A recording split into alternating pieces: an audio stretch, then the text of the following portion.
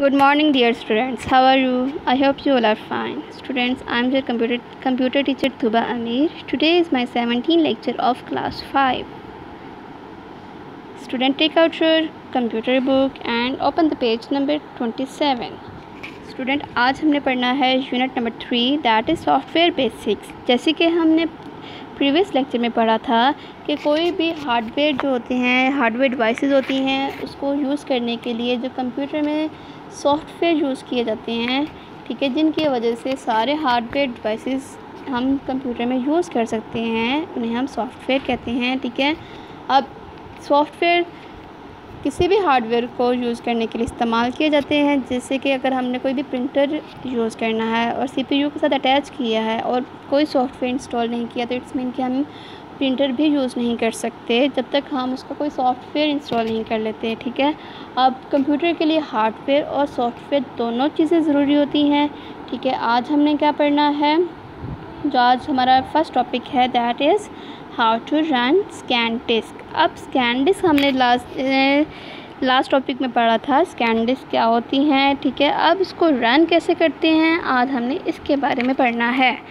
How to run scan disk number one point है double click on my computer icon on your computer आपने क्या करना है? Computer icon में आपने कंप्यूटर पे जो डेस्कटॉप होता है उस पर माई कंप्यूटर होता है उसे डबल क्लिक करना है, ठीक है?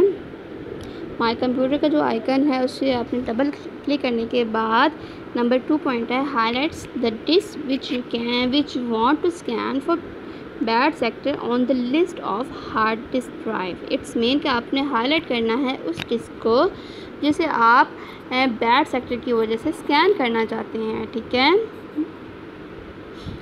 जो हार्ड डिस्क ड्राइव में जो लिस्ट होती है, जिसे आपको स्कैन करना है, पहले आप उसे एक बार हाईलाइट कर लेंगे, ठीक है? नंबर थ्री पॉइंट है, open the file menu.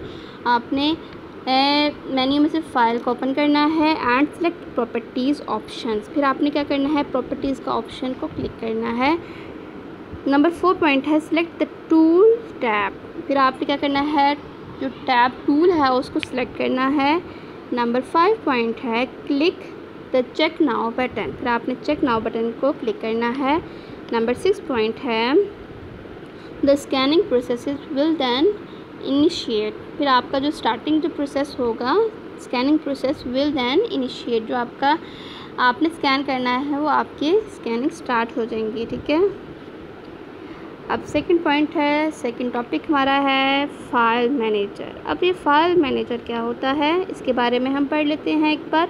File manager we have already studied and understand the file management system of a computer जैसे कि हम ऑलरेडी पढ़ चुके हैं और समझ भी चुके हैं कि फ़ाइल मैनेजमेंट सिस्टम क्या होता है कंप्यूटर में।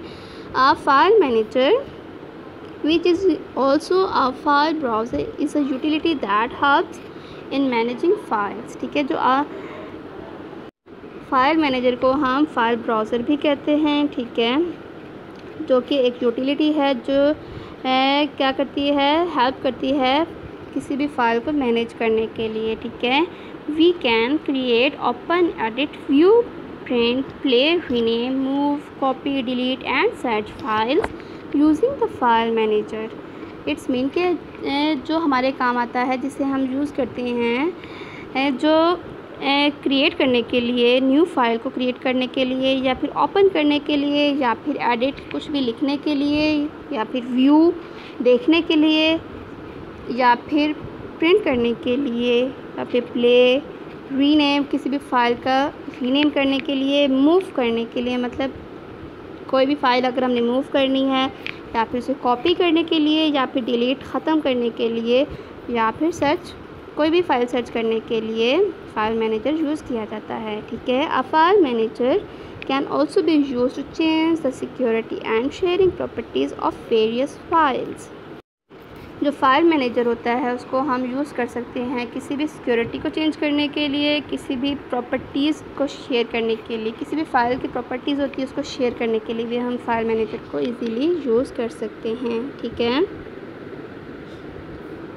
अब स्टूडेंट आपने क्या करना है? ये आपका होमवर्क है। Long question answer question number three that is write down the types of operating system आपने ऑपरेटिंग सिस्टम की टाइप्स को राइट करना है। नंबर वन है आंसर देखें।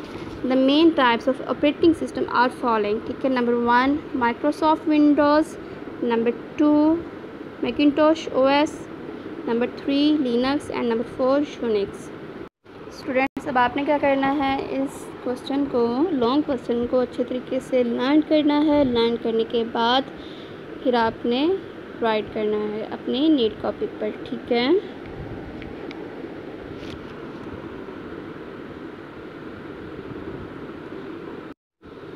स्टूडेंट आपने क्या करना है? इस क्वेश्चन का भी राइट करना है अपनी नीट कॉपी पे।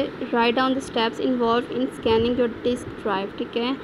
जैसे कि अभी हमने पढ़ा है इस टॉपिक में, इस लेक्चर में आपने क्या करना है डिस्क ड्राइव को जो स्कैन करने के जो स्टेप्स होते हैं, जो इन्वॉल्व होते हैं स्टेप्स उनको आपने राइट करना है। Number one double click on my computer icon आपने माई कंप्यूटर आइकन पे डबल क्लिक करना है। नंबर टू पॉइंट है from the hard disk drives highlight the disk which you want to scan आपने क्या करना है, आपने वो वाली डिस्क को हाईलाइट करना है जिससे आप स्कैन करना चाहते हैं, जो हार्ड डिस्क ड्राइव में मौजूद होती हैं, ठीक है? नंबर थ्री पॉइंट है open the file menu and select properties आपने फ़ाइल मेन्यू को ओपन करना है और उसमें से प्रॉपर्टीज़ को सिलेक्ट करना है। नंबर फोर पॉइंट है सिलेक्ट द टूल टैब फिर आपने टूल टैब को सिलेक्ट करना है। नंबर फाइव पॉइंट है click the check now button फिर आपने चेक नाउ बटन को क्लिक करना है। नंबर सिक्स पॉइंट है scanning process will then start फिर आपको जो प्रोसेसिंग का जो स्कैनिंग का जो प्रोसेस है वो स्टार्ट हो जाएगा, ठीक है? आप इन दो क्वेश्चन को अच्छे तरीके से लर्न करने के बाद राइट करना है अपनी नीट कॉपी पर, ठीक है? थैंक यू सो मच अल्लाह हाफिज़.